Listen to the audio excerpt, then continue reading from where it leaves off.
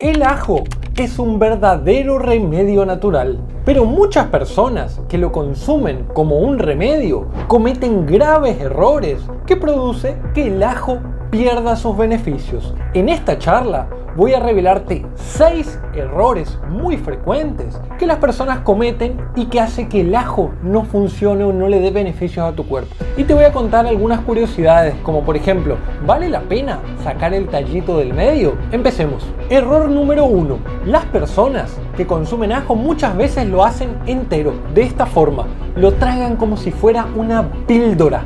Y esto no es lo mejor. Verás, el ajo dentro es como un panal de abejas, tiene muchos compartimientos, pero tiene una sustancia clave que se llama alicina. La alicina nos da poderosos efectos antiinflamatorios, antioxidantes, para disminuir el colesterol, para mejorar su presión. El problema es que la alicina no funciona cuando el ajo está entero. Hay que activarla. Y para activarla hay varias formas. Es muy sencillo. Podés aplastar el ajo, machacarlo, cortarlo o incluso rayarlo. Pero todavía hay más. Muchas personas lo cortan, lo machacan o lo rayan y lo consumen. No funciona así. Una vez que lo cortás, lo machacás o lo rayás, tenés que dejar en reposo entre 3 a 5 minutos para que los juguitos esos que salen del ajo se mezclen con la alicina y hagan que se active. Entonces, primer consejo, ajo entero, no. Ajo cortado, machacado o picado, consumido luego de 3 a 5 minutos. Error número 2 consumir el ajo en ayunas. Muchas personas se levantan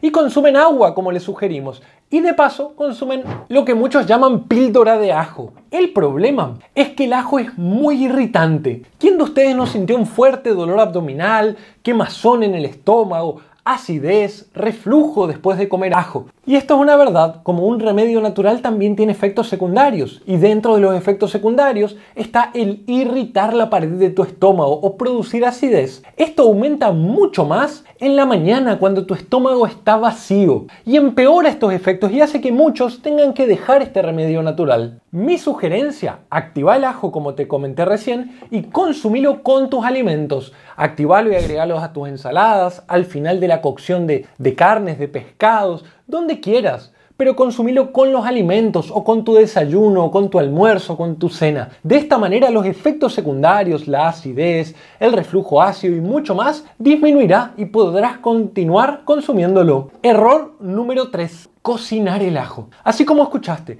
cuando nosotros cocinamos el ajo y lo elevamos a altas temperaturas o incluso a moderadas temperaturas, ¿te acordás la lisina que te conté recién que le daba sus beneficios antiinflamatorios, antioxidantes? Bueno, se destruye, se quema, desaparece. Lo que estoy queriendo decir, vas a tener gustos en la comida cuando cocines el ajo, pero vas a perder sus beneficios. Si a vos te preocupa utilizarlo como un remedio natural, cocinarlo no es una buena opción. Ahora, hay muchas personas que me dicen, doctor, yo cocino el ajo porque me cae mucho mejor, no tiene tanto olor, no me produce tanta acidez, lo tolero mejor, me gusta el sabor. En esos casos, cuando vos, por ejemplo, tenés mucha acidez o reflujo, lo que fuera, podés ocupar estos dos secretos que te doy. Uno, agregarlo al final de tu cocción. Estás terminando de cocinar, falta un minuto, 30 segundos, tíralos. Se va a cocinar un poquito sin quemarse. O la otra, cocinar a temperatura muy, muy baja durante no más de 2 a 3 minutos. De esta manera la alicina no se quemará tanto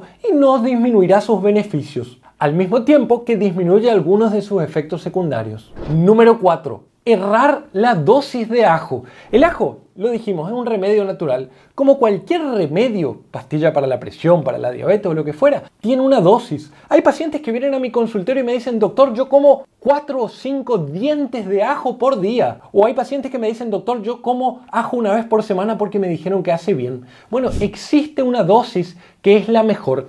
Los estudios científicos muestran que las personas que comen entre 1 y dos dientes de ajo de este tamaño, es decir, un tamaño mediano por día, tienen los mayores beneficios. Pero los estudios científicos también muestran que quienes exageran con el ajo, es decir, comen más de 4 o 5 dientes de ajos por día, tienen problemas en la salud. Empeora su acidez, empeora su gastritis, pueden tener reflujo, pueden tener mucha halitosis, es decir, olor feo en la boca, por lo cual no se sugiere. Es decir, como consejo, si te preocupan los efectos beneficiosos del ajo, consumí entre 1 a dos por día. Yo consumo uno casi todos los días, no lo consumo siempre, tengo que ser honesto. Error número 5.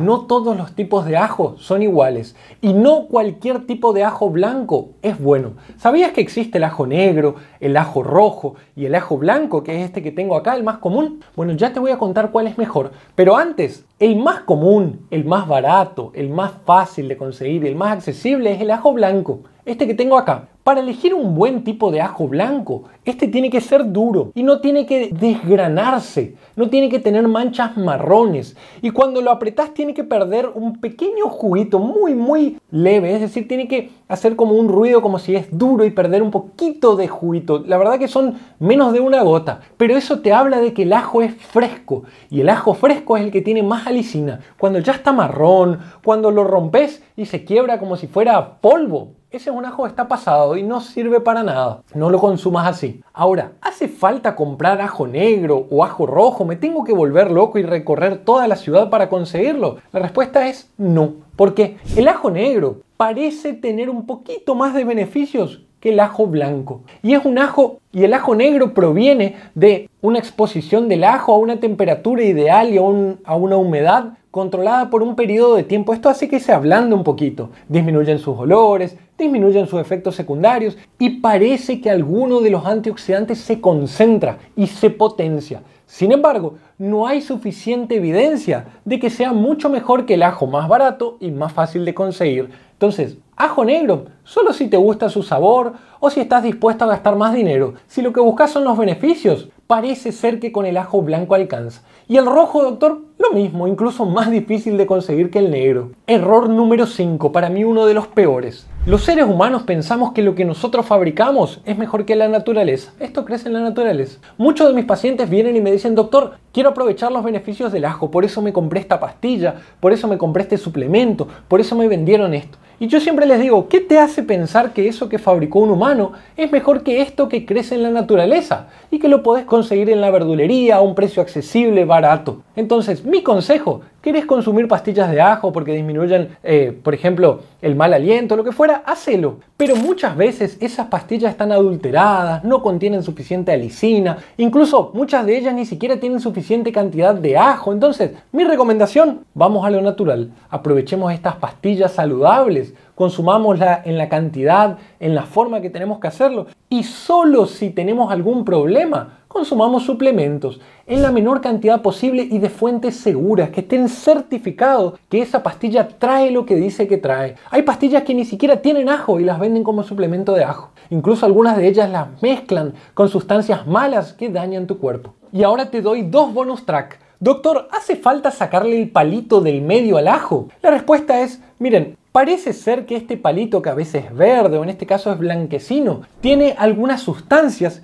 que el resto del ajo no tiene. Parece que esas sustancias son beneficiosas para tu cuerpo y podrían mejorar tu salud. Sin embargo, algunas personas dicen que cuando comen el ajo con ese palito les cae más pesado o les hace mal. Yo les digo, no hay suficiente evidencia científica que sugiera que sacar o dejar el palito del ajo es bueno o malo. Lo que yo siempre hago es sugerir consumir cualquier fruta o verdura entera, incluso con su cáscara, con su pulpa, con su jugo. Y en el caso del ajo, pienso lo mismo. Creo que si podés evitar sacarle el palito es lo mejor. Ahora, si a vos te cae pesado, si a vos te hace mal, si a vos te resulta de alguna manera feo o arruina tus alimentos, sácalos. Parece que no hay diferencia. Y escuchen este segundo bonus track porque es importante. Muchas personas le preocupa formar trombos, formar coágulos en su sangre. Sabemos que el ajo disminuye la formación de coágulos porque mejora cómo funcionan tus vasos sanguíneos, disminuye tu inflamación, disminuye tu oxidación, disminuye la formación de coágulos.